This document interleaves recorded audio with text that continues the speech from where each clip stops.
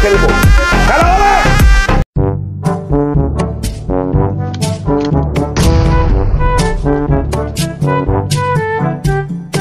ये बताइए, जो बम फटा तो क्या एकदम से फटा? नहीं नहीं, एकदम से नहीं फटा। एकदम से नहीं फटा। बम पहले हमारे बाजू में आए। फिर मुझे देख के थोड़ा सा शर्माए। फिर लुढ़कते लुढ़कते मेरे नज़दीक आए।